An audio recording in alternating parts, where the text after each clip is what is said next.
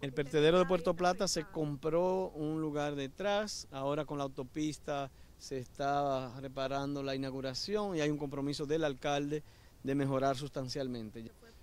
Todo a nivel nacional hay muchos problemas. Aquí hay que pasar de botaderos a reciclaje, a rellenos sanitarios. Nosotros no podemos seguir y esa es la meta que tenemos.